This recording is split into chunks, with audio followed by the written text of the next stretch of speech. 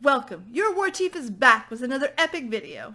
Hi, my name's PB, but you lovely people are more than welcome to call me Peebs. Oh boy. With Shadowlands right around the corner, right now is the perfect time to look back on BFA and all the bullshit that we will not miss. I know, right? It's hard to narrow it down, but did what I could. So I won't keep you long. I don't know about you, but I can't wait to throw that shit in the trash. So let's get into it right now. Listen, you knew it, I knew it, everybody on this planet knew it, that Azerite and Azerite gear would be on this list and number one. Are we surprising anybody? No. I mean, Azerite and the RNG Azerite gear system honestly holds most of the blame for how bad BFA was. BFA wasn't slotted to be the best expansion, let's be real here for 6 seconds, but it brought an average, okay expansion to the shitter. It was incredibly long and difficult to grind. Add the fact that the gear was an RNG nightmare. You could literally farm the gear for ages and never get the stats you actually need. Get this, they actually thought the system was so bad that they changed it not once, not twice, but three times. Every patch brought a change to the system because it was so bad. And it was a short expansion. I mean, and then to farm the crap. You know what? It deserves its own section. I'm stupid. That was just plain stupid.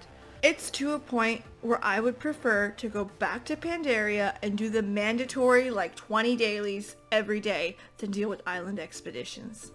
The fact that it was nearly mandatory, especially in catch-up mode, there's no rewards. There's no joy out of it. Even farming a mount out of that is just bullshit. What were they thinking? Taliesin and Evitel said it best when they said the Horde had the worst experience in Battle for Azeroth. My naive little self thought it was story. No. Dazar'alor. Lore speaking, it was a beautiful city that made sense with its grandiose and the queen sitting under the seal. But what a disaster! Blizzard held back flying a year, year and a half, and you had to travel to Zarlor. Once I finally got off my rear and leveled a Horde character, I got it. I understood.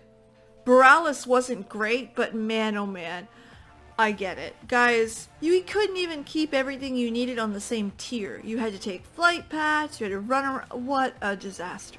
Even when flying came, and I finally got it, it still was absolutely unnecessarily large to get to everything you needed.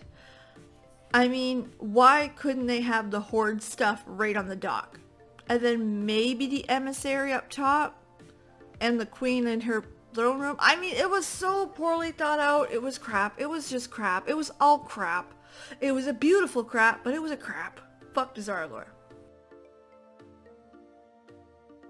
If you are anything like me, you will fly all over your map twice if you have to, in your respective faction, because going over the pond to the other is that much of a pain in the ass. From shitty flight paths to just poor zoning to this was not set up correctly to do world quests across the pond, and then to make them required for Champions of Azeroth. You know what, Magni? No, you're not getting your emissary today. Too bad. And probably not next week either. This is a short little one, but really? Tyrande's no call no show to the Alliance? Without a word, without a quest line, nothing. You're telling me you couldn't give us a little something to say, hey, screw you guys, I'm going home. Was I hard? Like really? This is the equivalent of you ending your shift, the guy who's coming to replace you doesn't show up, and your boss just looks at you goes, oh well, and they're still employed. I'm not asking for much here, but even something to say that she left angrily, that she ran through the door, or they had a little argument, something, something.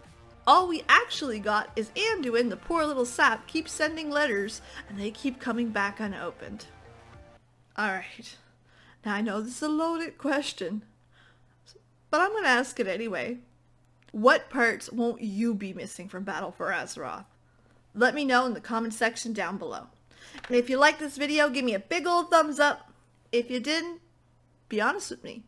That's what I appreciate the most. I love the feedback. Actually, bonus points, if you didn't like the video, leave me a comment, tell me why. We can fix it. If you like Warcraft, you like nerdy stuff, you like me, hit that subscribe button. You know there's more stuff coming. And while you're down there, ring that bell. That way you won't miss it when it does go live. And that does include my live streams now on Wednesdays, 7.30 p.m. Eastern, right here, right on this channel where it's chatting in Warcraft. That's it. It's just like being in Discord, chatting in Warcraft. I'm also not a hard lady to get a hold of. All of my socials are in the description box down below, including my Twitch if that's something you're interested in. Again, super duper easy to find. And actually, speaking about live streams, I'm going to leave my last week's live stream up here. We went over all kinds of stuff about covenants and shadowlands. Super fun time. If that's something that interests you, check it out. All right. Well, I love you all very much, and I can't wait to see you again on the next one. Bye. I mean, how? How could you make something so beautiful head to toe, but so damn bad? Fuck Dazar'alor.